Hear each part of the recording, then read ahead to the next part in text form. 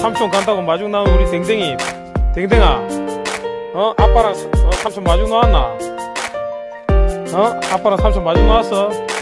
어? 댕댕아 아빠 이제 가야 된다. 어? 아빠가 아니라 삼촌이 가야 된다. 여튼 내 정신이 없다. 어? 댕댕아 삼촌 이제 가야 돼. 우리 댕댕이. 어? 개방어 소리 멀리서 들리는데? 댕댕아 개방어 소리가 멀리서 들리네. 아까 잠깐 들리네 동생아 삼촌하고 한번 뛰어볼래? 동생이. 봐봐. 삼촌 뛰어보자 일로 일로 일로 일로 어 좋지 좋지 어 좋지. 어 좋지. 어 진짜 잘 뛰네. 또 일로 일로 어, 어, 어? 어 좋지.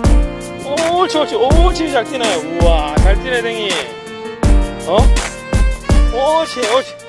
오지 굿보 여기까지 왔어 오지 일어나 일어나 오지 오지. 잘 오네. 오지. 오지 잘 오네 굿보 중간에 지금 골치 아프다. 멍멍이 삼촌한테 올 건가? 아빠한테 갈 건가? 지금 목이 뭐 이리저리만. 어.